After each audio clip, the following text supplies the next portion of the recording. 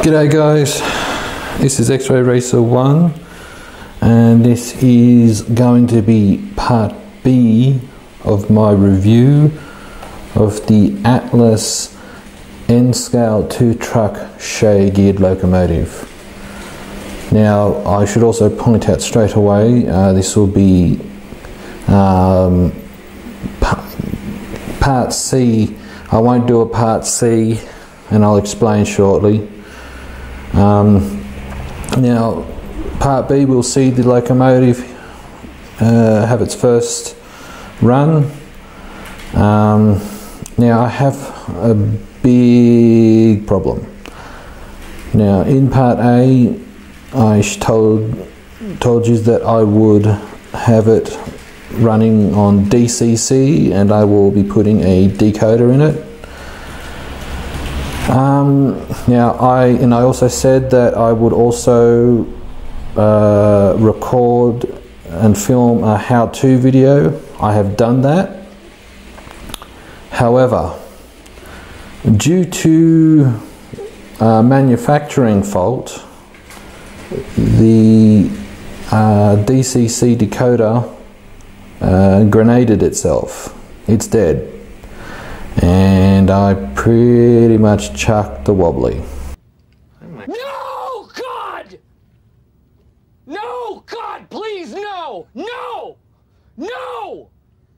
No! Um, so, unfortunately, I have had to rewire my D, my Shay back to DCC mode. So um, when you see it run, you will not see the lights working as uh, I had already had it wired for DCC.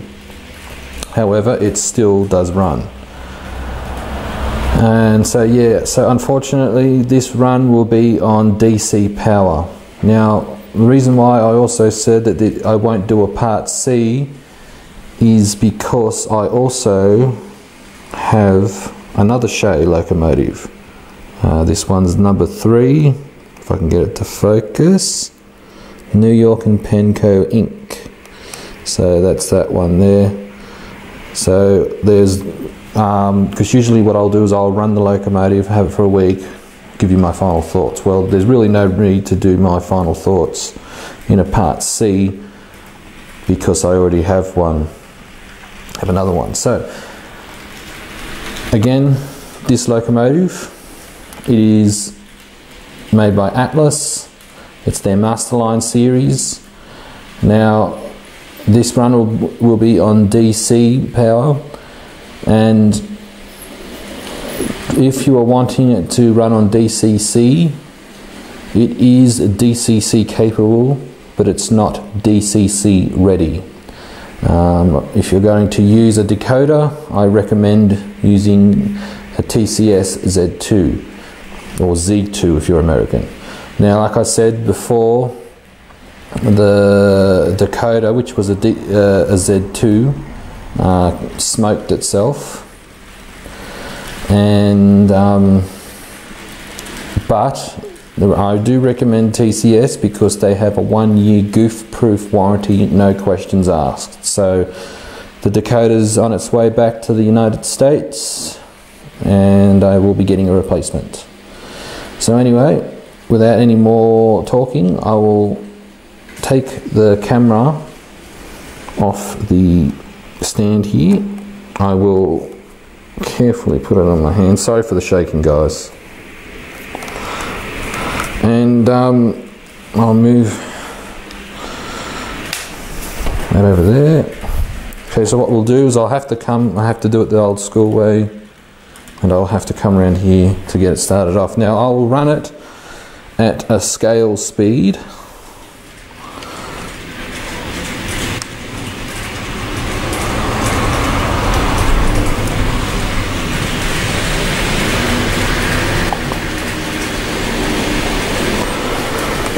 Okay.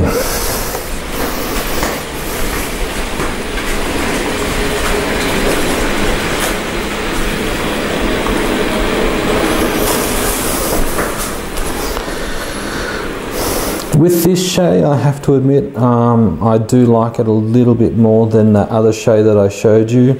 Not just for its detail, but I also found it to be a little bit more smoother running. Now if I quickly come around here, I'll try to get it in the light so you can see the workings of it.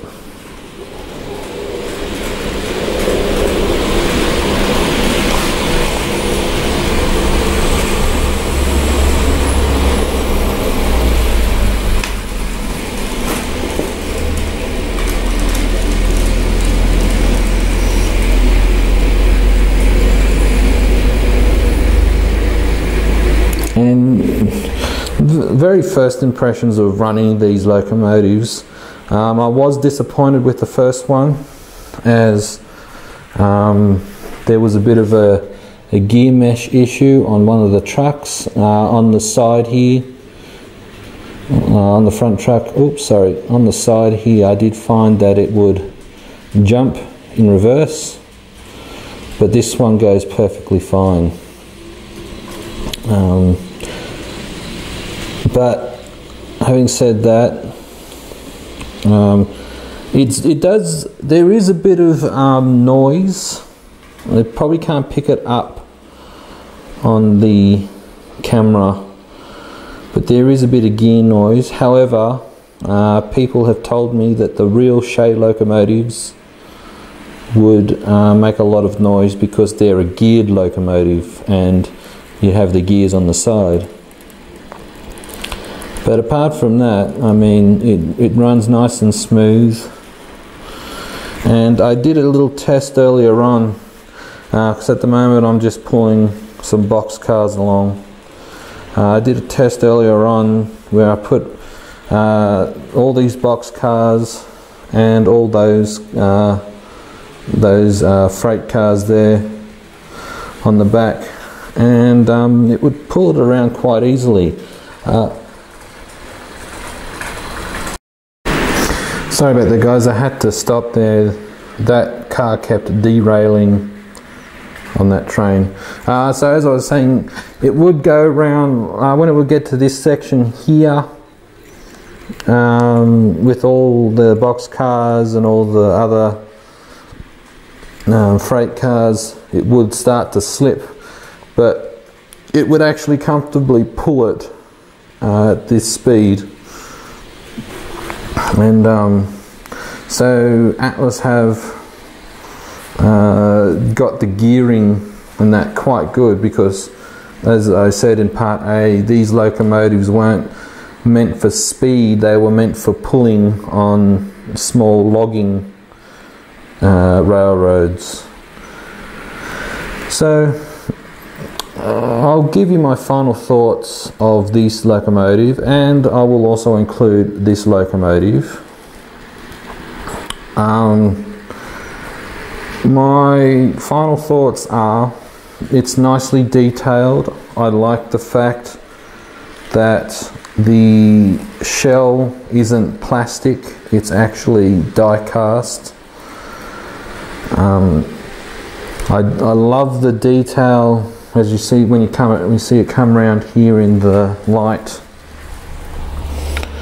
I love the detail of watch, watching the uh, drive shafts and the pistons and that going up and down. Uh, you know, just like the real thing.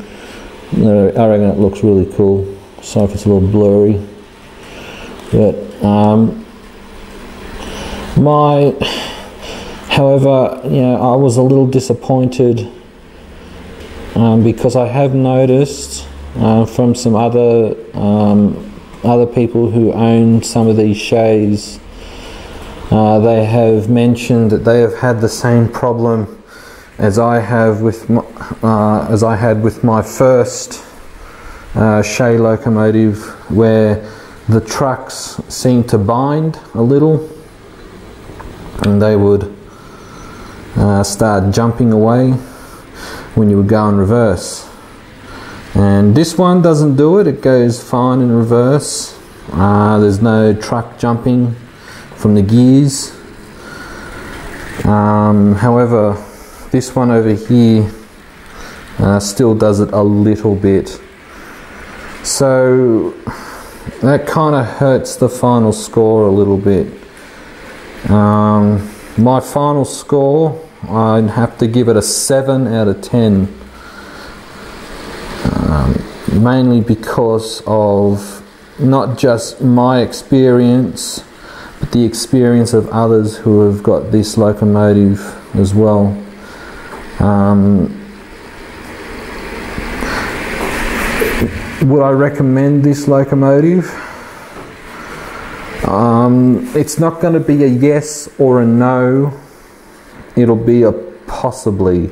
I would possibly recommend it because it seems to be a little bit hit and miss when it comes to quality control, I would guess you could say. Um, they're not too. They don't. Honestly, I would prefer if manufacturers would give a test run of their locomotives, not just put them together and put them in a box and ship them off. Um, because honestly, I reckon uh, there would be a lot less of these Shay locomotives being shipped out if they did a test run.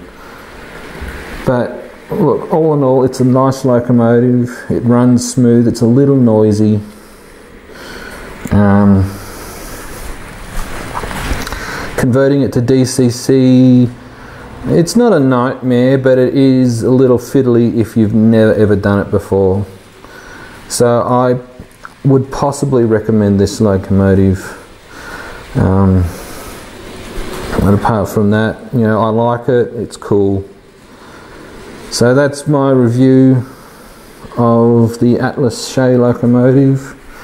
If you have any questions, please don't hesitate to comment down below. I'll do my best to answer the, your questions to the best of my abilities. Stay tuned for more reviews and train related things. Cheers, guys.